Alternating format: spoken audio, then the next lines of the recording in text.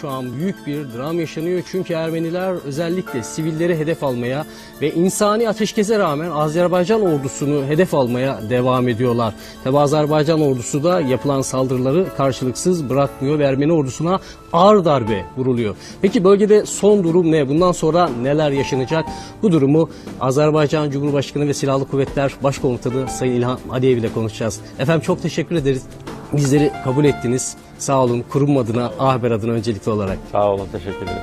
Tabii efendim bölgeyle başlayacağız. Dün Ermenistan sivilleri yine hedef aldı. Terter'de bir mezarlık hedef alındı ve 3 Azerbaycanlı kardeşimiz şehit oldu. Bu saldırıyı öncelikle nasıl değerlendiriyorsunuz? Bu erməni faşizminin növbəti təzahürüdür. Onlar adətə döyüş meydanında məğlubiyyətə uğrayanda sivillərə ateş açırlar. Bunu biz 1-ci Qarabağ savaşında da gördük. Zaten Xocalı soyqırımını törədən həmən bizim mənfur qonşularımızdır.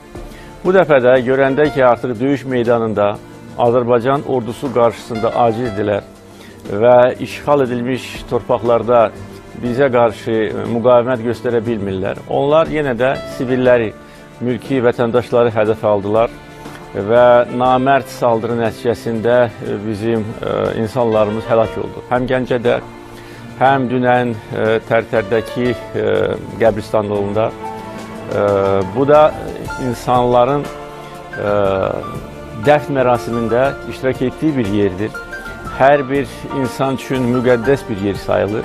Ancaq bizim mənfur qonşularımız üçün müqəddəs anlayışı görünür ki, yoxdur və bu insanlığa qarşı cinayətdir. Bir daha Ermənistanın yırtıcı xislətini göstərir. Ancaq bir də onu göstərir ki, bu namərd saldırılar bizi yolumuzdan döndərə bilməz.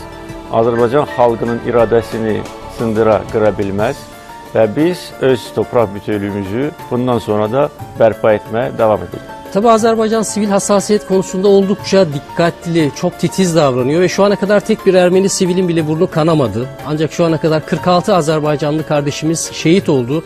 Batıya baktığımız zaman Batı neden sessiz bu katliamlara? Maalesef e, siviller arasında can kaybı devam edir. Artık 47 oldu ve 222 mülki şəxs yaralandı. E, 2000'e yakın ev ya tamamen dağıldı ya da ki böyük ziyan gördü. Və biz, mən bunu demiştim, biz bu insanların qisasını döyüş meydanında alacağıq. Biz heç zaman sivillərə qarşı ateş açmamışıq. Bugün də açmırıq. Baxmayaraq ki, Gəncə saldırısı oldu, Tərtər saldırısı oldu. Və bugün səhər, e, bugün indi saat 9-10, saat 6-dan səhər 8-ə qədər 220-dən çox mərmi, yəni mühimmat, Tərtər, Ağdam, Goranboy və digər rayonlara düşdü. Yəni bu namərd saldırılar davam edir. Onların əsas hədəfi sivilləri öldürmək, Azərbaycan əhalisi arasında panik yaratmaq, qorxu yaratmaq, bizi durdurmaq və öz çirkin niyyətlərinə çatmaqdır. Ancaq görürlər ki, bu alınmır və nə qədər mər mərmi mühimmat düşürsə düşsün, Azərbaycan vətəndaşları öz torpağında qürurla yaşayırlar və bütün bu çətinliklərə dözürlər. Onları birləşdirən bir amal var. Qarabağın qaytarılması, Azərbaycan bayrağının bütün işğal edilmiş torpaqlarda bayrağının qaldırılması və ərazi bütövlüyümüzün bərpa edilməsidir. O ki, o ki qaldı ikinci e, toxunduğunuz məsələyə, nədən Batı səssiz qalır? Biz bunu birinci Qarabağ savaşında gördük. Ermənistan bizə təcavüz etdi. Ermənistan bizim torpaqlarımızı işğal etdi. Ermənistan bizim xalqımıza qarşı soyqırımı törətdi. Ancaq yaptırımlar Azərbaycana yapıldı. Və o zaman 92-ci ildə, 91 93-cü ildə e, Batı basınında belə bir təsəvvür yarandı ki, sanki Azərbaycan işğalçıdır, Azərbaycan təcavüzkardır. Ermənistan isə bu təcavüzün qurbanıdır. Bugün də bunu da az miqdarda, az həcmdə görürük. Çünki artıq e, həqiqəti danımaq, gizlətmək mümkün deyil. Efendim 1993 yılında özellikle Kasım ayında yine o dönemde ateşkes ilan edilmişti ve ateşkesi yine Ermenistan ihlal etmişti. Katliamlar gerçekleştirmişti. Şimdi baktığımız zaman yine ateşkesi ihlal eden Ermenistan. Bu ateşkesle Azerbaycan ordusunun ilerlemesi durdurulmak mı isteniyor? Bilirsiniz, bu onların taktikidir. E, ateşkəsi e, istəyən Ermənistan oldu. Və e, onlar görəndə ki, artıq döyüş meydanında işğal edilmiş torpaqları qoruya bilmirlər, onları saxlaya bilmirlər. Onlar ateşkəs üçün baş vurdular. Və bizə də belə müraciət gəldi. Bilirsiniz ki, Rusiya bu missiyanı öz üzərinə götürmüşdür. Və biz də dedik ki, humanitar ə, məqsədlər üçün ə, cəsədlərin dəyişdirilməsi, əsirlərin dəyişdirilməsi üçün ə, atəşkəs elan oluna bilər, amma eyni zamanda və Moskva açıqlamasında bu göstərildi. Mahiyyət üzrə müzakirələr bərpa edilməlidir və eyni zamanda müzakirələrin formatı da dəyişməz qalmalıdır. Ancaq görünür ki, onlar bu atəşkəsdən istifadə etmək istəyiblər. Bir gün keçməmiş Gəncəyə bu namərd saldırı düzənlədilər. Ondan sonra digər bizim şəhərlərimizi vurmağa başladılar və faktiki olaraq bu atəşkəsi köbutcasına ihlal etdilər. Ona görə bu bunların taktik idi. Onlara bu atəşkəs görünür, ona görə lazım idi ki, öz qüvvələrini toparlasınlar, səfərbərlik, tədbirləri görülsün və bizə yeni saldırı düzənlənsin. Çünki bu atəşkəsdən sonra onlar ə, üç dəfə Hatrut qəsəbəsini yenə də işğal altına almaq istədilər. Üç dəfə ora həmlə etdilər, taruz etdilər, amma üç dəfə də məğlub oldular. Onların niyyəti itirilmiş və onlara mənsub olmayan torpaqları yenə də qaytarmaq və beləliklə öz işğalçılıq siyasətini davam etdirmək. E bu arada tabii Hadrut hala bizim diye yalan propagandalar yapılıyor şu an. Kabullenemiyorlar. Evet, bugüne kadar bu yalan propagandaları yapırlar. E, Hadrut'ta artıq neçə gündür ki, Azərbaycan e, bayrağı dalğalanır və Hadrutun ətrafında e, yüksəkliklərin, təpələrin mütləq əksəriyyəti bizim nəzarətimizdədir. Və əgər Hadrut götürülməsəydi, ondan sonra Xocavənd rayonunun köyləri də götürülə bilməzdi. O zaman Füzuli köyləri də götürülə bilməz. Biz yalnız Hadrut istiqamətindən ora irəlilədik. Şimdi efendim insani ateşkesin uygulandığı tarihten itibaren özellikle Erivan'ın e, havalimanına Rusya'dan, İran'dan kargo uçaklarıyla sürekli füzeler gönderiliyor. Kargo uçaklarıyla. Ve bu şekilde aslında bir suç işleniyor. Bu noktada özellikle İran Cumhurbaşkanı ile de görüştünüz Ruhani ile sınır kapısının kapatılması noktasında. Rusya ile de görüştünüz füzelerin gönderilmesi ve ücretsiz veriliyor bu silahlar. Bu noktada ne söylemek istersiniz özellikle İran ve Rusya'ya? İranla əlaqədar e, İrandan Ermənistana silahların göndərilməsi ilə əlaqədar bizdə hər hansı bir məlumat yoxdur. E, əksinə deyə bilərəm ki, İran və Gürcüstan öz hava sahəsini və quru yollarını ə, Ermənistana silahların daşınması üçün kapatdı. Və buna görə biz bir daha İran və Gürcüstan hökumətinə, hökumətlərinə təşəkkürümüzü bildirmək istəyirik. Ə, yəni Gürcüstan ərazisindən bizdə olan məlumata görə bu gün ə, qaçaq silah göndərilir.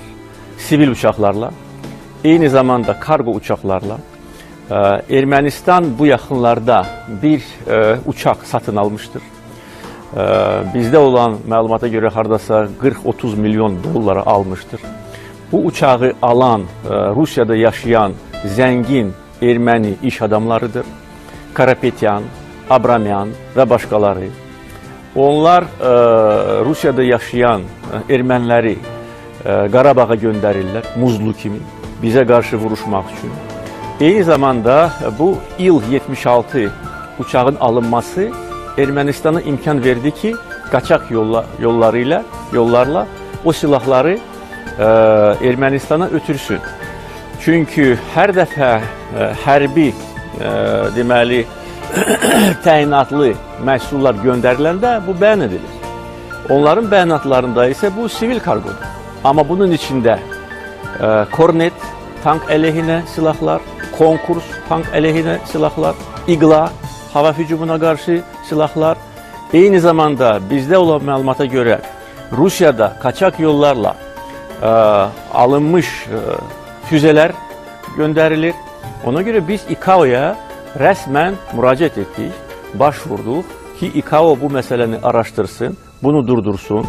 Bu ə, uluslar arası cinayət sayılır və ə, bu qaçaq silahların Ermənistana göndərilməsi qəbul edilməzdir.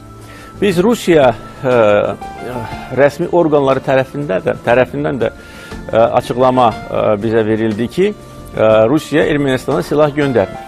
Ona görə bizim fikrimizcə bu silahlar ə, erməni iş adamları, zəngin iş adamları Rusiyada yaşayan qaçaq yollarla bəzi hərbi fabrikalarda alıb Ermənistana göndərirlər və bu istiqamətdə araşdırmalar davam etdirilir.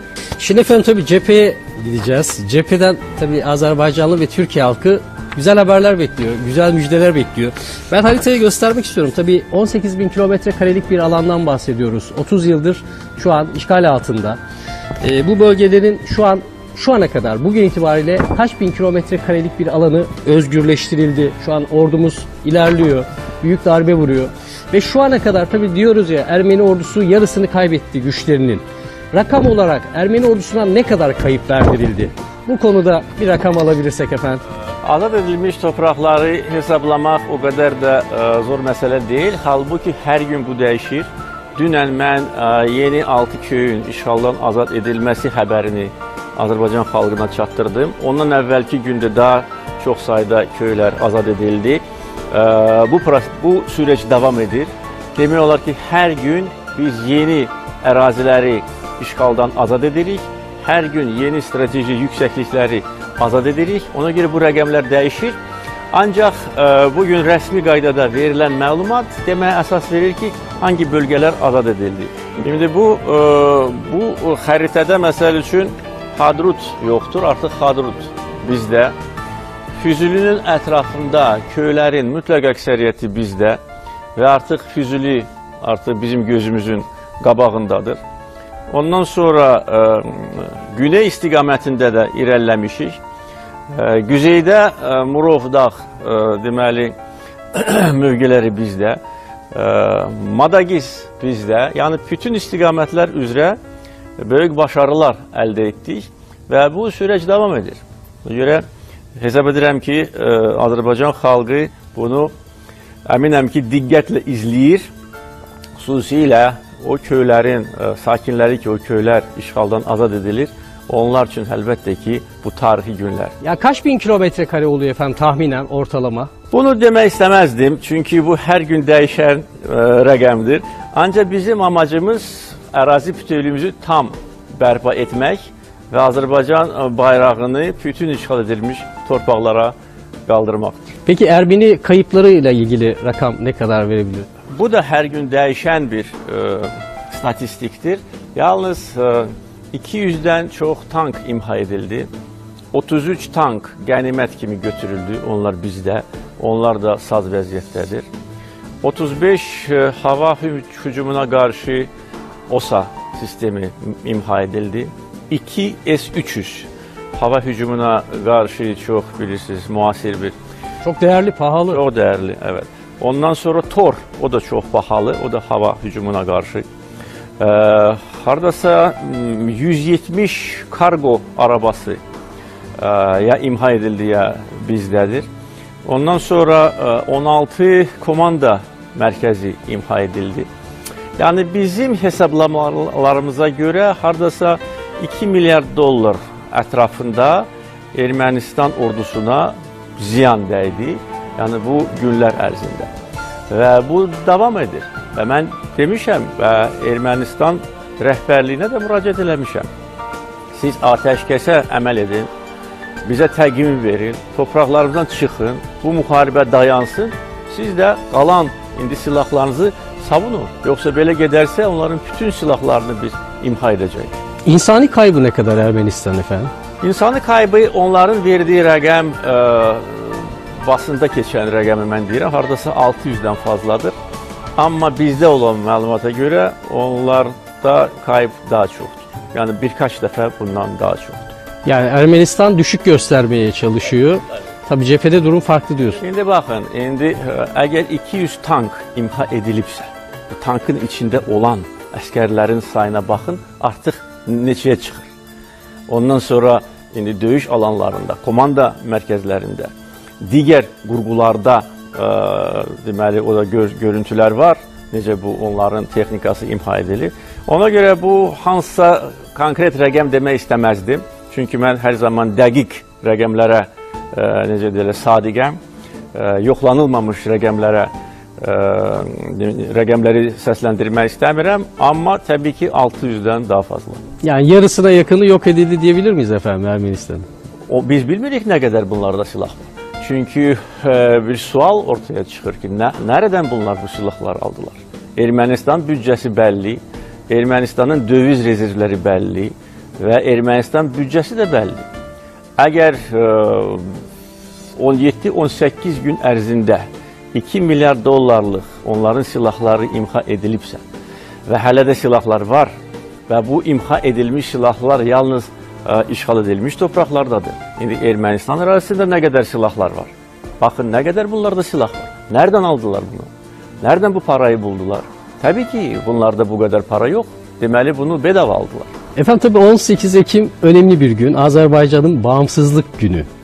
Bu tarihte Azerbaycan halkı sizden bir müjde bekliyor inşallah. Karabağ'la ilgili bir müjdeniz olacak mı efendim? Buradan A Haber ekranlarından tüm Türkiye'ye ve Azerbaycanlı kardeşlerimize o müjdeyi paylaşmak ister misiniz?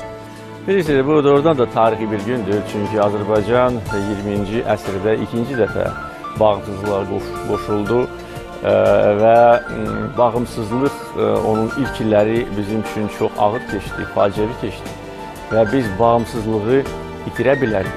Necə ki, 1920-ci ildə itirdik. Cəmi 2 il çəkdi. Ondan sonra Azərbaycan Xalq Cümhuriyyəti süqut etdi. E, Bu dəfə də e, Ermənistan Azərbaycana Ermənistanın e, təcavüzü, eyni zamanda Azərbaycan daxilində gedən e, daxili çatışmalar e, böyük böhrana səbəb oldu, böyük krizə səbəb oldu və yalnız 93-cü ildə e, Ulu Öndər Heydər Əliyev hakimiyyətə gələndən sonra vəziyyət sabitləşdi, istiqrar təmin edildi və Azərbaycan inamla inkişaf, gəlişmə yoluna qədəm qoydu. Ona görə 18 e, Ekim tarixi e, bizim üçün çox e, əziz bir tarixdir.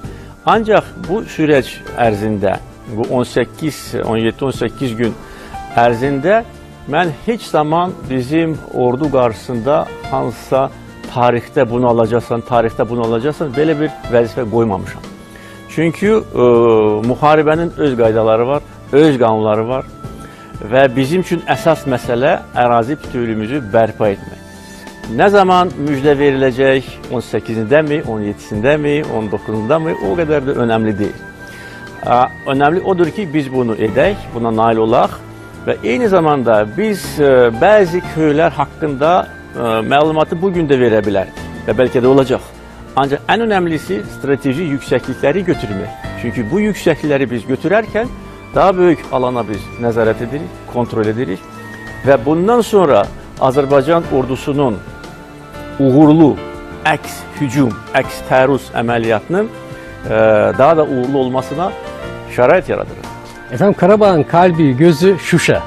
Azerbaycanlıların gözü kulağı Şuşa, Şuşa'dan gelecek haberde. İstikameti Şuşa olarak mı verdiniz inşallah? İstiqamət hər tərəfdir.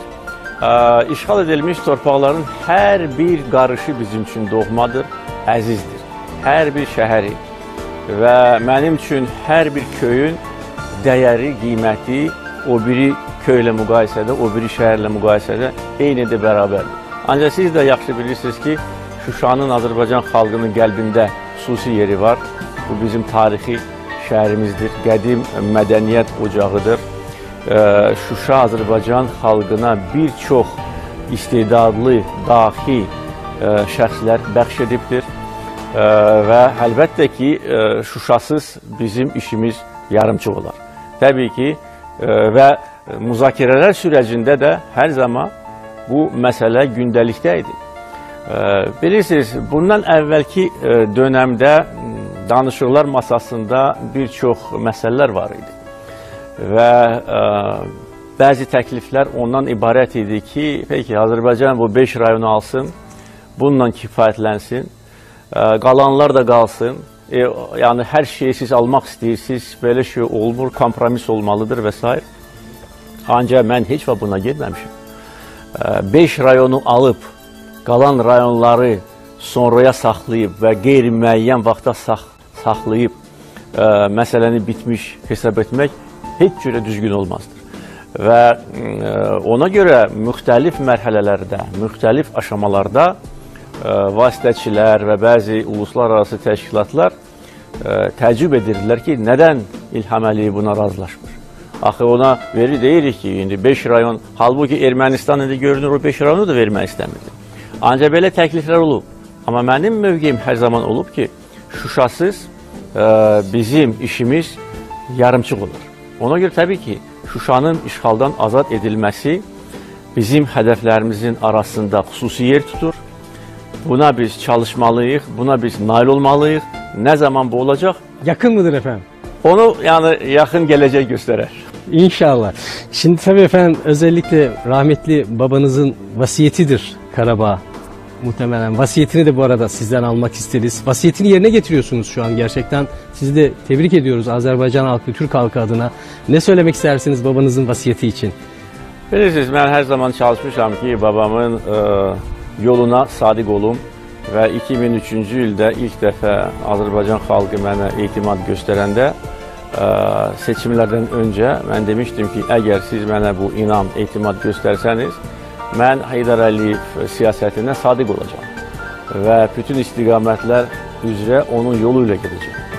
Şədəm ki, ə, sözümə sadiq oldum, sözümü tutdum və bu gün Azərbaycanın ə, yəni, sürətli və uğurlu gəlişməsi, inkişafı, uluslar arası müstəvidə ə, böyük hörmətə malik olması, ölkə daxilində sosial, iqtisadi, digər problemlərin həlli, böyük projelerin gerçəkləşməsi əlbəttə ki, Heydər Əliyev yolunun davamıdır.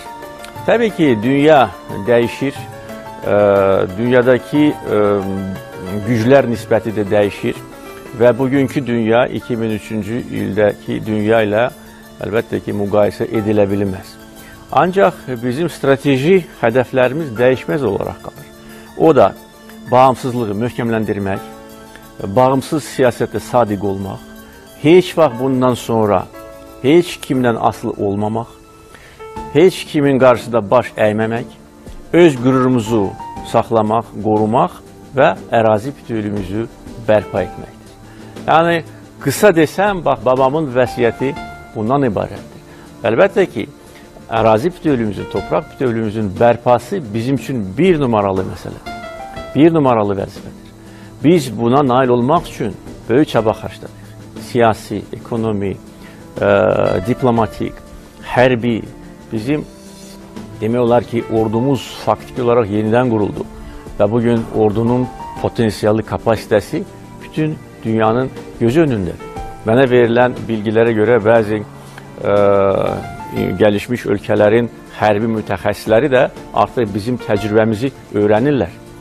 Bu təcrübə mən əminəm ki, kitablarda da olacaq və ə, tədqiqatlarda da olacaq. Ona görə babamın yoluna sadiq qalaraq bu şərəfli missiyanı da icra edirik.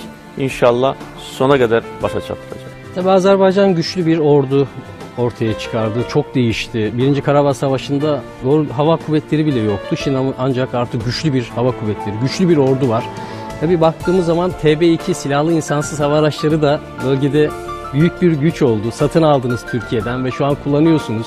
Savaşın seyrini nasıl değiştirdi silahlı insansız hava aracı? Çok değiştirdi. Çünkü bilirsiniz Ermənistan bu 30 il ərzində o işğal edilmiş bölgelerde bütün təməz xətti boyunca çok güclü istehkam vurmuşdu.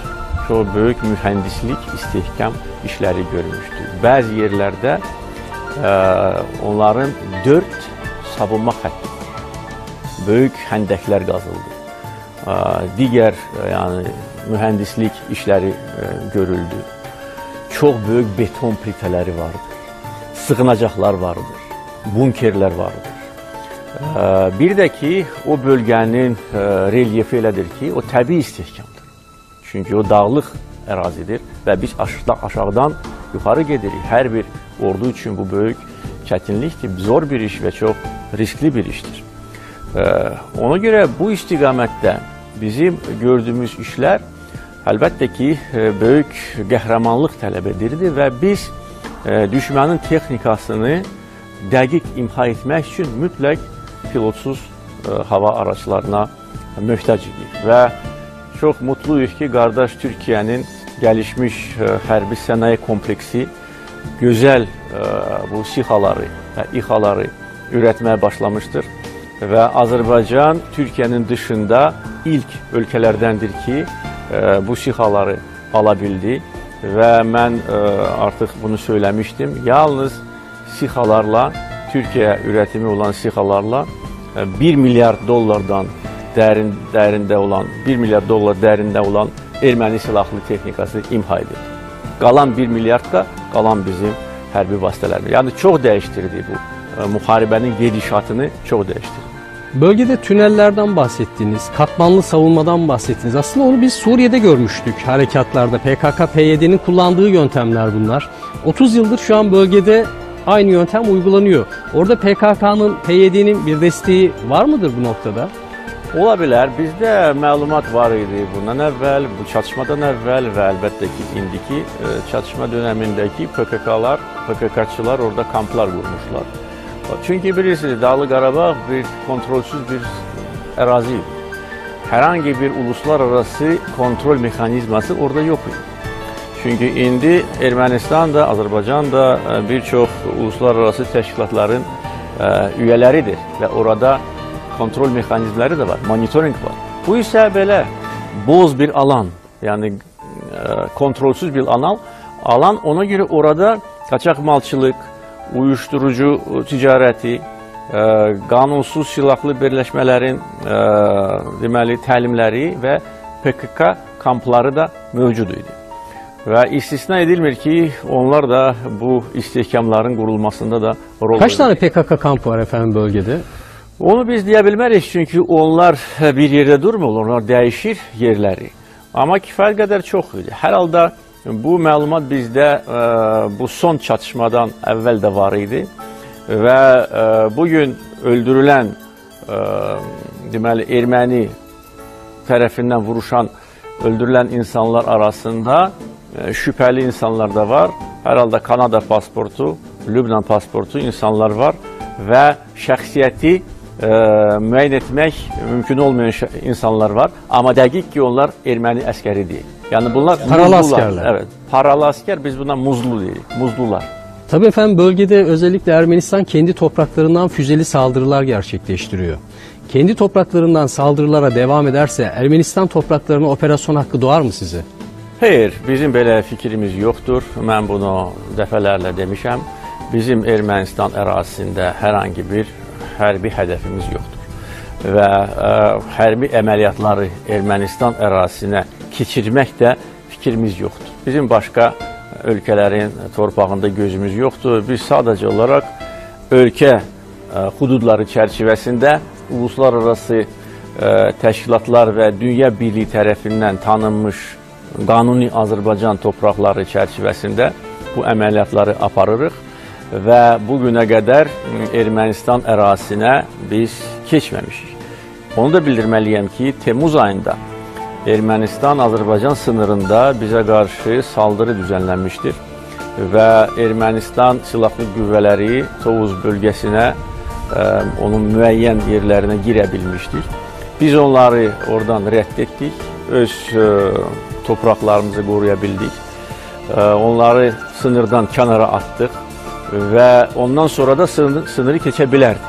Yəni bizim qarşımızda hər hangi bir ciddi maneə yox idi. Zaten bu savaşta onu gösterdi ki eğer burada biz geçebilmişikse orada daha kolay. Çünkü orada bu istihkamlar e, yoktur. Ama bunu yapmadık. Çünkü biz hesap ettik ki bu düzgün olmaz. Biz öz toprağımızda özümüzü savunuruq ve işğalçıları öz topraklarımızdan qovmalıyıq. Ancaq eyni zamanda əgər Ermənistan ərazisindən bizə qarşı Toçka U, İskəndər, Skat, və başqa çox təhlükəli silahlardan onlar istifadə edəcəklərsə, necə ki, Gəncəni onlar Ermənistanın Vardenis rayonundan vurdular. Əgər bu davam edəcəksə, bu bizim üçün legitim, qanuni hərbi hədəflər olacaq. Bunu herkes bilsin. Hı hı. Tabii bu noktada efendim Türkiye ve Pakistan'dan size destek mesajları geliyor. Özellikle Başkan Recep Tayyip Erdoğan olsun. E, Her türlü desteği vermeye hazırız dediler. Bu noktada Türkiye ve Pakistan'dan askeri destek isteyecek misiniz efendim önümüzdeki? Xeyr, belə bir bizim fikrimiz yoxdur. Ee, Türkiyə və Pakistan ilk bizə dəstək olan ölkələrdir. Ondan sonra bu ölkələrin sayı artdı. Ondan sonra Əfqanistan bizə açıq dəstək göstərdi. Ee, Bosna Hersek, ondan sonra digər ölkələr dəstək göstərdilər. Ən çox dəstək göstərən qardaş Türkiyə olmuşdur və mənim qardaşım hörmətli Cumhurbaşqanı Rəcəb Tayyip Erdoğan ilk saatlarda çox e, dəqiq və çox kəsin və net mesajlar verdi ki, Azərbaycan yalnız deyil, Türkiyə Azərbaycanın yanındadır və e, bu bizi daha da ruhlandırdı. Ancaq e, askeri dəstəkdən söhbət gedə bilməz, buna ehtiyac yoxdur. Və bu gün e, Ermənistan baş naziri tərəfindən e, uydurulan yanlış məlumat əlbəttə ki, uluslararası kamuoyu çaşdırmağa yönəlib. Məsəl üçün dün Rusiya televizyonuna verdiyi açıqlamasında demişdir ki, Azərbaycan tərəfində Türkiyə vuruşur, Pakistan vuruşur, ondan sonra Suriyadan, Libya'dan olan əskərlər vuruşur. Bunlar hamısı yalan. Və bu yalanı ifşa etmək o qədər də zor məsələ deyil. Çatışmaların ilk günündə demişdilər ki, Ermənistanın Su-25 uçağını Türkiyənin F-16 uçağı vurmuşdu. Biz dedik ki, sübut ver. Verə bilmədilər. Sonra herkes gördü ki, bu yalandır. Şimdi bunu artıq demirlər. İndi yeni yalan ortalığa çıxır ki, Pakistan və Türkiyə əskərləri bizlə bərabər vuruşurlar. Sübutlar versinlər. Yoxdur bu. Bu sadəcə olaraq e, Ermənistan tərəfi birinci növbədə istəyir ki, Azərbaycan ordusunun gücünü e, necə də pərdələsin. Sanki Azərbaycan tək başına bunu yapa bilməzdir. İkinci də e, onun məqsədi odur ki, bu e, çatışma artıq e, bölgədən çıxır da qlobal bir çatışmaya çevrilir. Bu da yalandır. E, bizim Türkiyədən və Pakistandan və başqa e, qardaş ölkələrdən aldığımız dəstək yalnız mənəvi və siyasi dəstəkdir. Türkiye ve Azerbaycan'ın dostluğu, ilişkileri, yakınlığı kimleri rahatsız ediyor efendim? Bizə bizi istəməyənləri, Türkiyənin gücünün e, artırılmasını istəməyənlər. Kimler efendim? Yəni bunlar bəlli kimlər? Yəni bu bir çox ölkələrdə belə dairələr var. Bu islamofob dairələrdir. Maalesef bu gün e, Avropada islamofobiya artır və e, deməli e, fakir ölkələrdən gələn mültəcilərə olan münasibət də göz qabağında. Ona görə islamofob partiyalar bu gün e, bir neçə Avropa ölkəsində parlamentə girirlər. Yəni radikal faşist partiyalar daha çox oy qazanırlar. Bu çox təhlükəli bir meyldir. Avropa üçün ilk növbədə təhlükəli meyldir, çünki bu irqçilik, ayrı-seçkilik, e, ksenofobiya, islamofobiya e, şərait yaradan bir e, meyldir. E, Eyni zamanda islamofob qüvvələrlə yanaşı Türkiyənin gücündən əndişələnən dairələr var. Çünki bugünkü Erdoğan Türkiyəsi 20 il önceki Türkiye değil. Biz de bunu bilirik. Türkiye'de yaşayan kardeşlerimiz de bilir. Bugün Türkiye dünyada söz sahibidir. Hiç kimse Türkiye neyse dikte edebilmez, neyse mecbur edebilmez. Türkiye öz çıkarlarını, öz müttefiklerinin çıkarlarını layıkınca dünyada müdafiidir, savunur. Öz e, güvenliğini bildiği kimi təmin edir. Uluslararası e, cəmiyyədə söz sahibidir.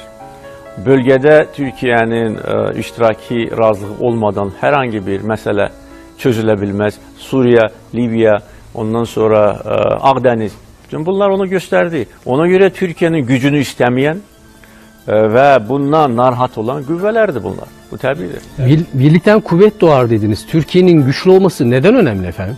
Türk dünyası üçün ona görə ki, bu böyük bir e, gücdür və bizi gücləndirir. Mən bunu dəfələrlə demişəm. Hə, Türkiyədə demişəm, Azərbaycanda da əziz qardaşım, ə, Cumhurbaşkanı burada olanda ki, Türkiyə-Azərbaycan birliyi bölgə üçün istiqrar gətirir. Əgər Türkiyədən bu net mesajlar çatışmaların ilk saatlarında Türkiyədən gəlməsəydi, bəlkə də başqaları qarışa bilərdi bu işlərə. Türkiyənin bu mesajları hər kəsə dur dedi. Azərbaycan yalnız deyil, Türkiyə işin sonuna qədər Azərbaycanın yanındadır. Və əlbəttə ki, e, bugün Azərbaycan-Türkiyə birliyi artıq çox ciddi geosiyasi faktora çevrilibdir. Və bu müsbət faktordur. Bizim birliyimiz hər hangi bir e, ölkəsinin e, çıxarlarına qarşı deyil. Biz sadəcə olaraq öz çıxarlarımızı savunmalıyıq, öz yolumuzu davam etdiririk. Heç kimsə bizim işimizə qarışmasın, heç kimsə bizim daxili məsələlərimizə burnunu soxmasın. Biz bunu istəyirik. Kimin işinə Türkiyə qarışıb bugünə qədər? Heç kimin. Azərbaycan kimin işinə qarışıb? Heç kimin. Sadəcə biz deyirik ki, bizə də dəyməyin. Kənarda durun. Dost olaq, tərəfdaş olaq, iş birliyi edək. Amma sizinki sizdə, bizimki bizdə. Bunu biz istəyirik və buna haqqımız çatır. Efendim Karabağ sorununun çözümünde Türkiye'siz bir masadan çözüm çıkar mı? Tabii bu asl, əslində e, de facto Türkiyə artıq masada. Mən bunu söyləmişdim. Bu bu reallıqdır və bu gün e, Türkiyə digər bölgədə yerləşən ölkələrlə bu məsələni e, konuşur, görüşür. İndi siz də bilirsiniz, e, Rusiya və Türkiyə Cumhurbaşqanları arasında telefon görüşməsi olubdur. Dışişlər bakanları, savunma bakanları olubdur. Eyni zamanda e, İran həmkarları ilə Türkiyə üst düzey yetkililərinin təmasları olubdur. Digər ölkələrlə. Ona görə de facto Türkiyə burada. Sadəcə olaraq Minsk qrupu e, 92-ci ildə təşkil olunduğu üçün zaten Türkiyə Minsk qrupunun üyəsidir. O zaman bilmirəm hansı səbəblərə görə eş başqanı olmadı. Yəni biz çox istərdik ki, bəri başdan Türkiyə eş başqanı olsun.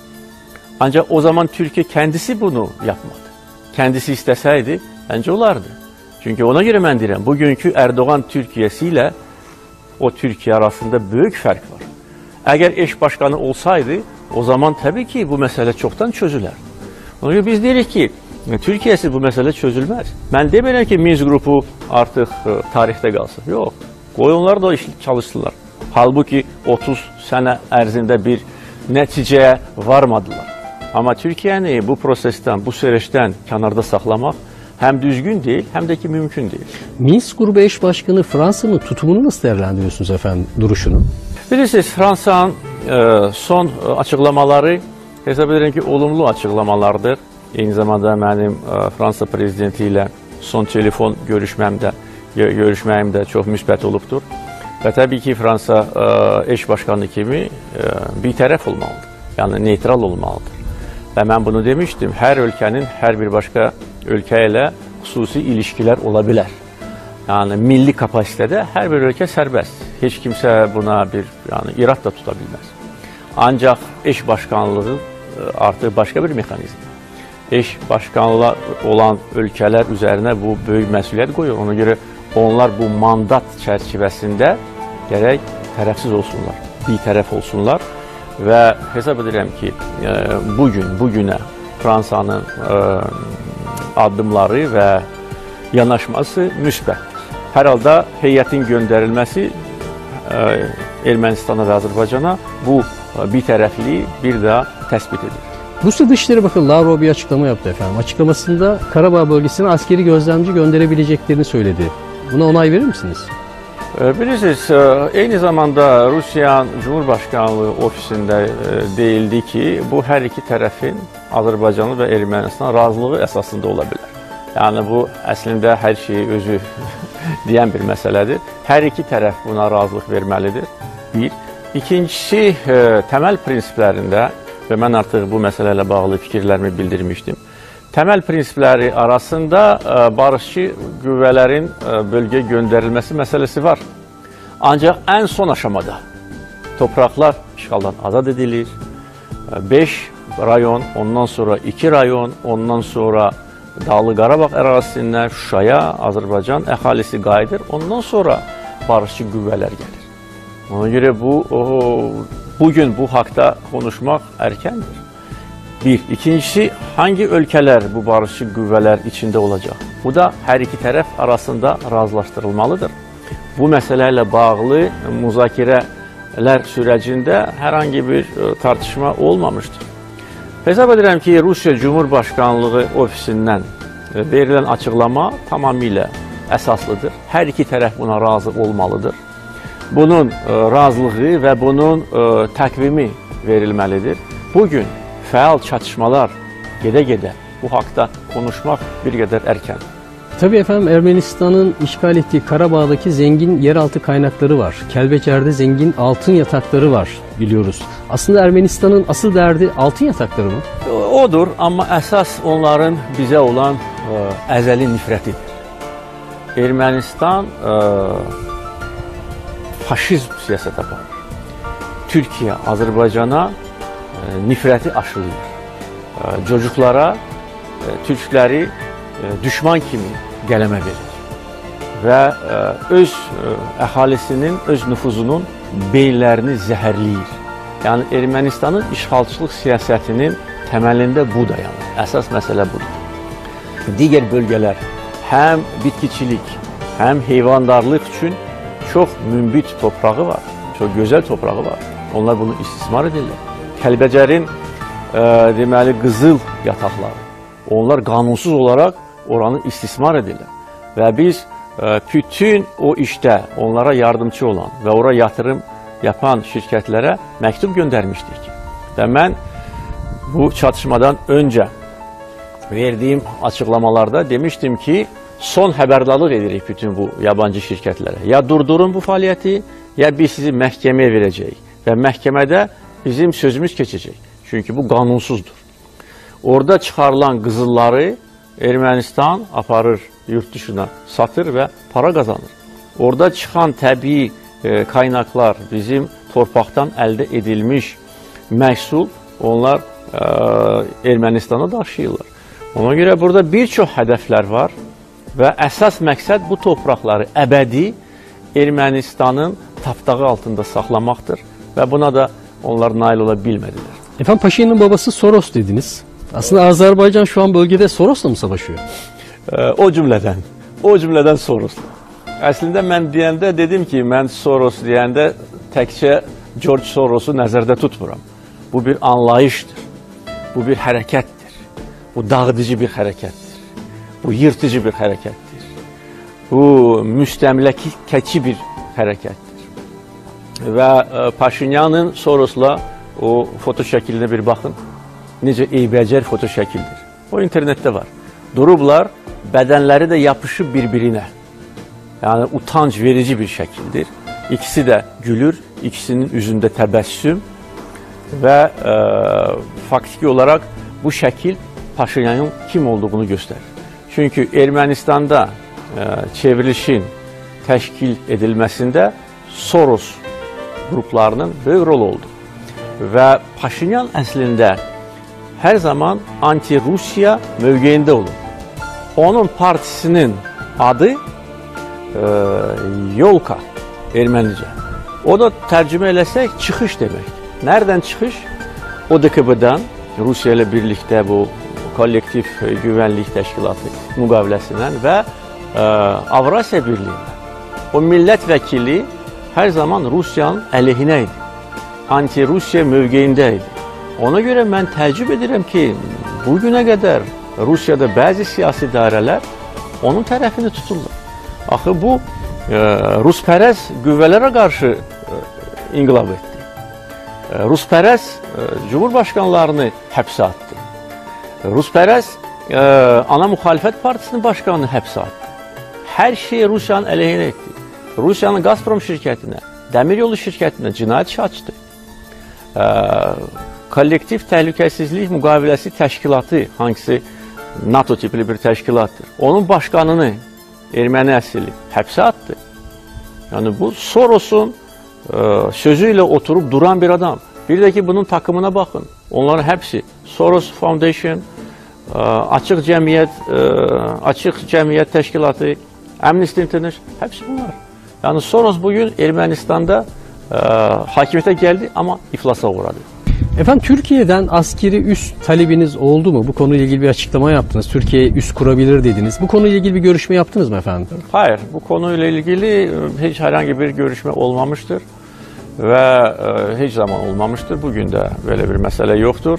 Zaten Türkiye ile askeri alanda alanında bizim işbirliğimiz gündən günə möhkəmlənir. Mən bunu artıq demişəm. Bir də demək istəyirəm ki, keçən sənə 10 birgə hərbi tədbiqat keçirilmişdir. Həm e, hava gücü e, savunma, eyni zamanda özəl e, deməli takımlar, e, digər sahələrdə. Ona görə bu işbirliyi ən yüksək səviyyədədir və e, üsün Azərbaycanda yaradılması məsələsi heç zaman müzakirə predmeti olmamışdır. Efendim Azerbaycan cephede statükoyu yıktı dediniz. Neydi efendim size dayatılan statüko ve Azerbaycan'ın yeni statükosu ne olacak bundan sonra?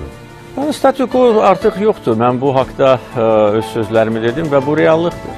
Statüko nə idi? Torpaqların işğal altında saxlaması.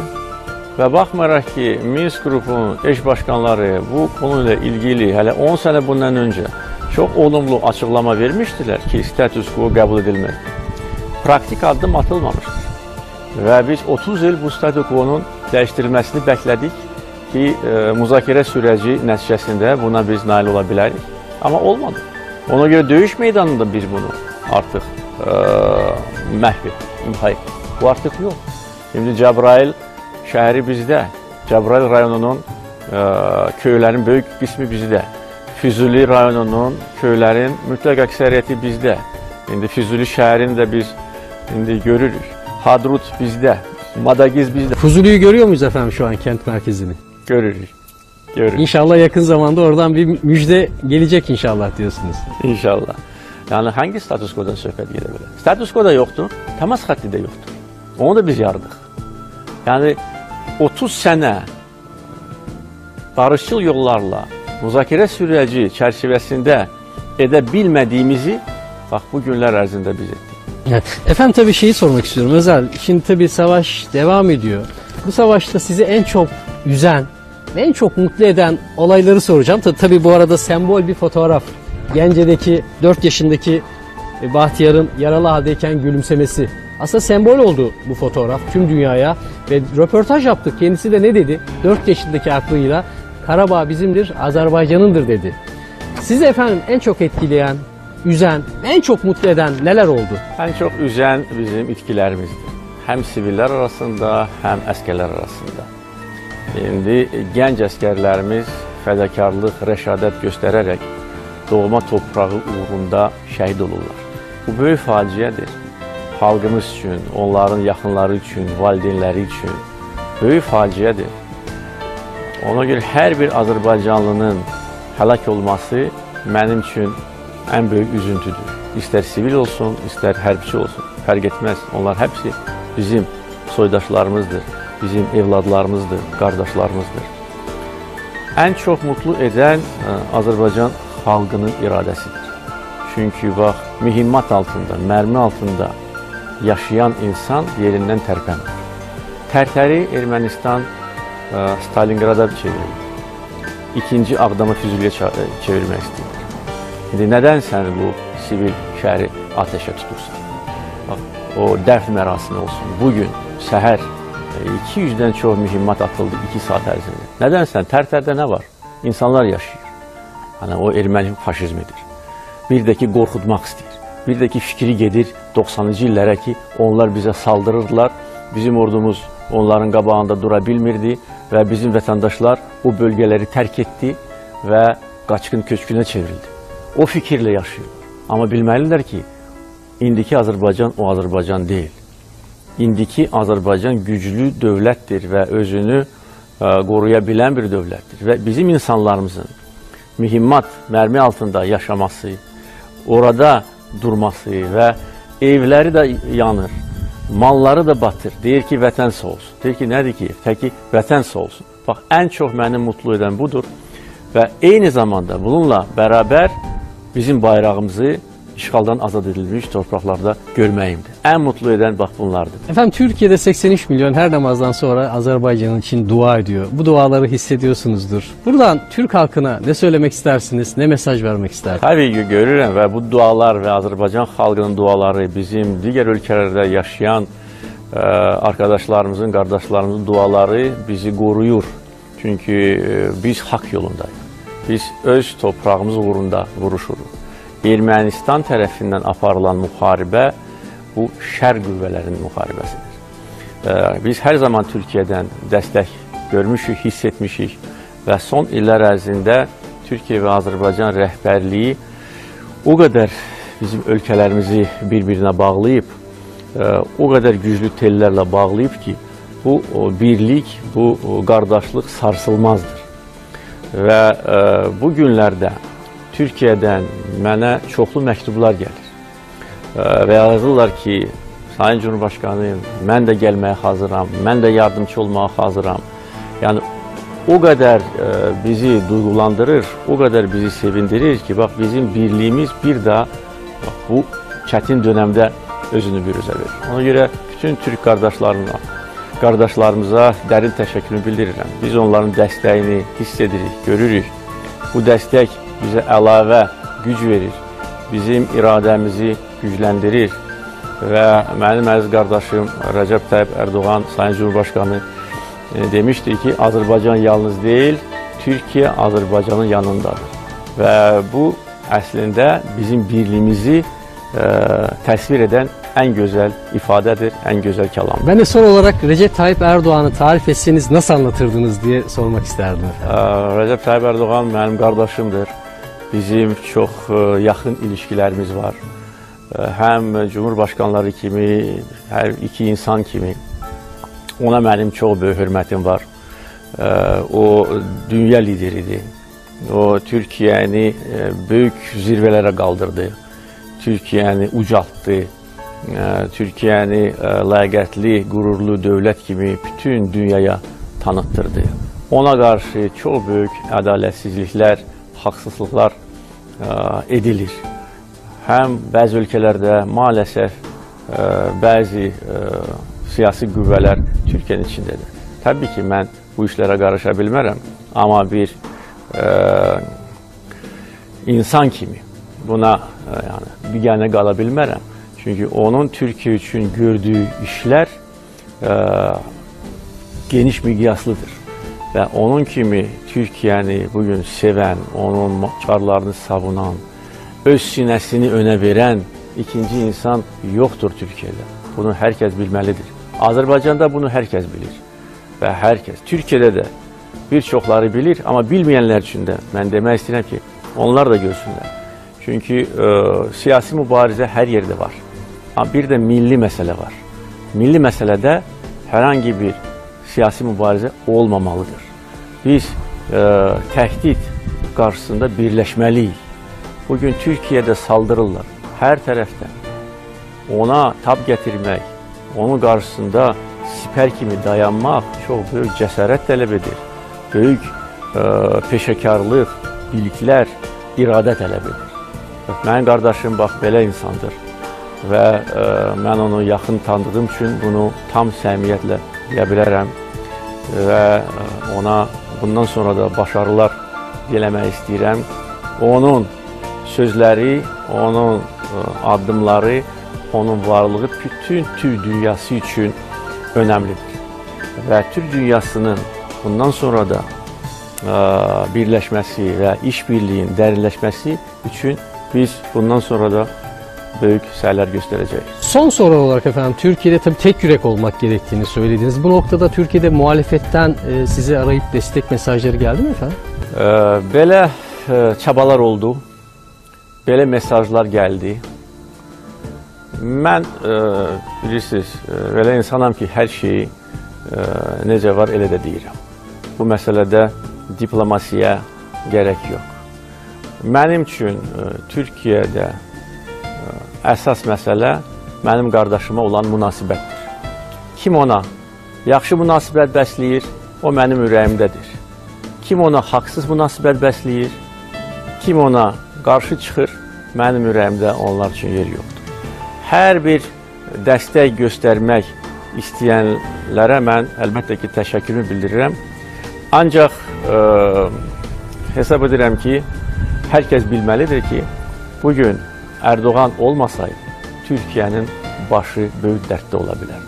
Bunu hər kəs bilsin, hər kəs anlasın və bunu mən adi bir Azərbaycan vətəndaşı kimi deyirəm. Və bunu siz 10 milyon Azərbaycan vətəndaşından bu gün bunu eşidə bilərsiniz. Türkiyə-Azərbaycan birliyi möhkəmlənir. Ona görə bu birliyi sağlayan insanlar da gərək ə, lazımı dəstək alsınlar hər bir yerdə. Milli məsələlər.